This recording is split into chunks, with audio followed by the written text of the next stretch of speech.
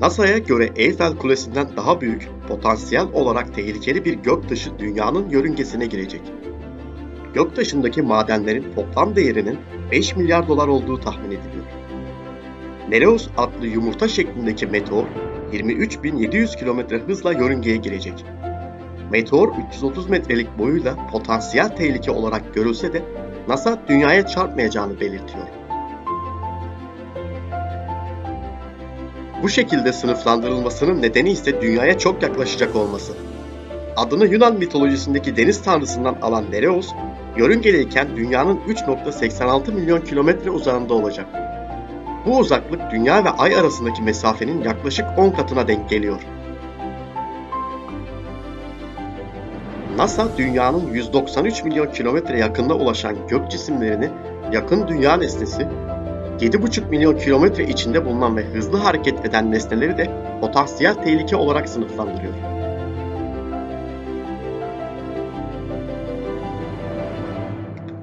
İlk olarak 1982'de keşfedilen göktaşı yaklaşık 10 yılda bir dünyaya yaklaşıyor. NASA göktaşının dünyaya sonraki yakın geçişlerini 2031'de ve 2050'de yapacağını tahmin ediyor. Göktaşı 2060'da ise dünyaya daha da yaklaşacak. O tarihte asteroid dünyaya sadece 1.2 milyon kilometre uzakta olacak. Ancak bu durum mineraller açısından zengin gök cisminin incelenmesi ve araştırılması için fırsat yaratacak.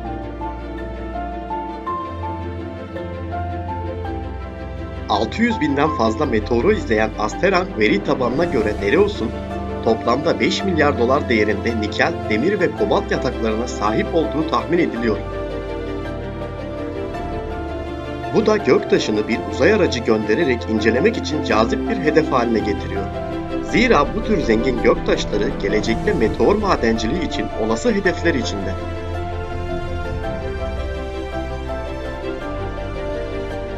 Uzay madenciliği bilim camiasında büyük ilgi görüyor. Çünkü uzmanlar bu uğraşın Ay ve Mars tabanlı bir koloni için gerekli madenlerin uygun maliyetle sağlanabileceğine inanıyor. Kozmik madenler kullanılabilirse diğer gezegenlerde kurulacak üsler için gerekli yapı malzemelerinin dünyadan gönderilmesine gerek kalmayacak.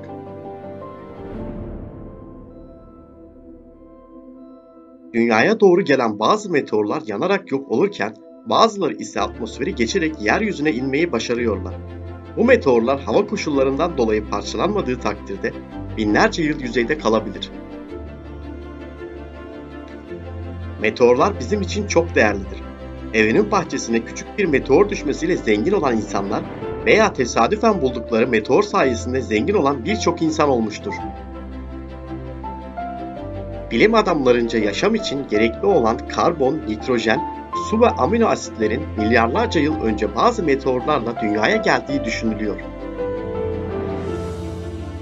Peki bir meteor dünyaya çarparsa ne olur? Meteorların çoğu dünyanın atmosferine girdikten sonra daha yere ulaşmadan parçalansalar da dünyaya bir meteorun çarpma tehlikesi bizim için olağan bir tehdittir. Tıpkı dinozorların neslinin tükenmesine neden olan meteorda olduğu gibi yörüngelerinden çıkıp dünyaya çarpabilirler. Bundan yaklaşık 66 milyon yıl önce Everest Dağı'ndan daha büyük dev bir meteorun dünyaya çarpması sonucu dinozorlar ve birçok canlı türü yok olmuştu. Peki kötü senaryo gerçekleşirse ne olur? Yani bir meteor dünyaya çarparsa ne olur? Meteorun dünyaya çarpmasıyla atmosferde yükselen toz ve duman güneş ışığının dünyamıza ulaşmasını engeller ve toplam sıcaklığın düşmesine neden olur. Bu olay birçok canlının ölümüne yol açabilir. Eğer apartman büyüklüğünde bir meteor dünyaya çarparsa muhtemelen küçük bir şehri yok edebilir.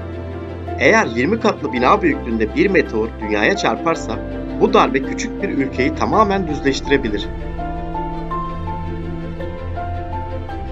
Bilim insanlarının meteorları araştırmasının en büyük nedenleri Güneş sistemi hakkında daha iyi bilgi sahibi olabilmenin yanında sayılarını da öğrenmek, yörüngeleri ve fiziksel özellikleri hakkında daha fazla bilgi edinmek istemeleridir. Eğer bir asteroid rotasını bize doğru yöneltirse tabii ki bunu bilmek isteriz. Tehlikeli olan ve uzayda serbest dolaşan bu gök cisimlerinin dünyaya yönelmeleri durumunda gelecekte yüzleşme ihtimalimiz olan bilim kurgu senaryolarını yaşayabiliriz.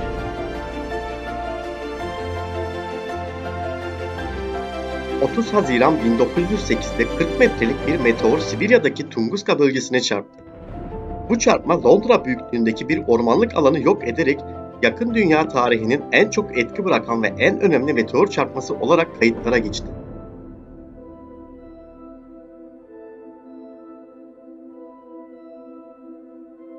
Peki evimizi, yani dünyamızı bu tehditten nasıl koruyabiliriz? Meteorun dünyaya çarpması tehdidini ortadan kaldırmanın tek yolu onları tespit etmek ve rotasından saptırmaktır. Eğer bir yerlerde bir meteor olduğunu bilmiyorsak onun dünyaya çarpmasını da engelleyemeyiz. Gökbilimciler çarpma tehdidi oluşturabilecek gök cisimlerini tespit etmek için yer uzay tabanlı teleskoplar kullanırlar. Ayrıca kızılötesi görüntüleme araçları üzerinden yansıyan ışıkların görülemeyeceği kadar karanlık olan nesneleri de bulmaya yardımcı olur. Meteoru bulsak bile dünyaya çarpıp çarpmayacağını anlamak için günler, aylar ve hatta yıllar boyunca birçok teleskopik gözlem ile onu izlememiz ve bilgi edinmemiz gerekebilir. Edindiğimiz her bilgi meteorun tahmini yörüngesini belirlememize yardımcı olur. Göktaşının dönme oranı, yapısı, hızı gibi özelliklerini bize anlatabilecek birçok teleskopik ve uzay aracı gözlemlerini dünyayı tehdit etmeleri durumunda rotalarını değiştirmek için kullanabiliriz.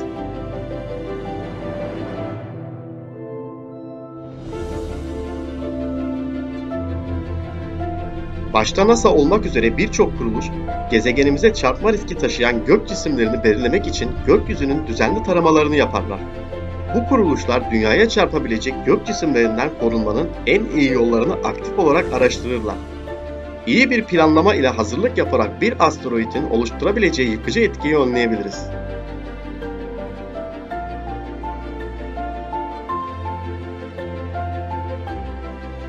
Bununla ilgili NASA dünyaya çarpma riski taşıyan asteroidleri yörüngeden saptırma denemesi olan DART misyonu için yola koyuldu.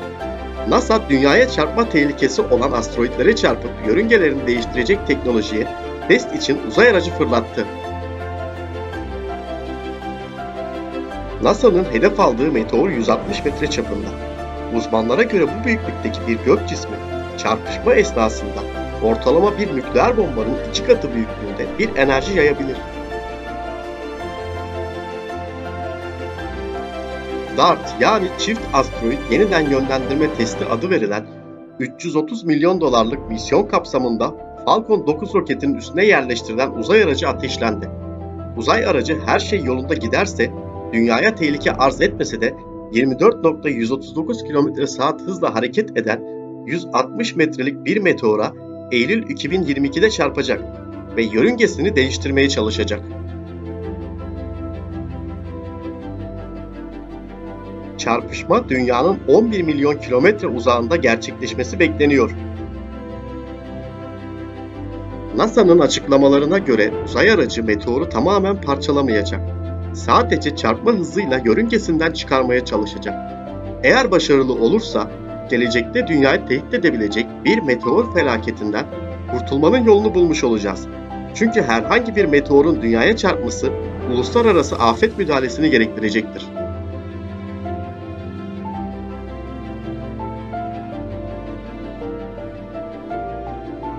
Ayrıca meteor tehdidiyle ilgili olarak afet ve acil durum yönetim kurumlarında ve kamuoyunda eğitim gereklidir herkesin tehdit seviyesinin ve bu tehdidi ortadan kaldırma potansiyelinin farkında olması önemlidir.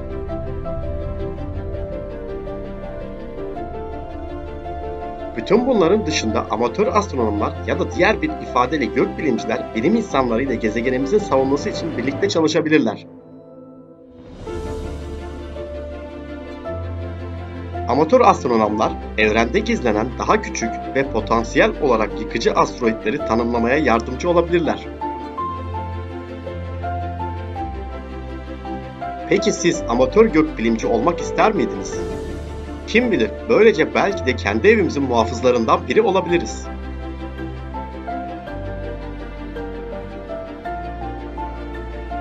Videoyu izlediğiniz için teşekkürler. Kanalımıza abone olarak diğer videoları da izleyip beğeni ve yorum yapmayı unutmayın.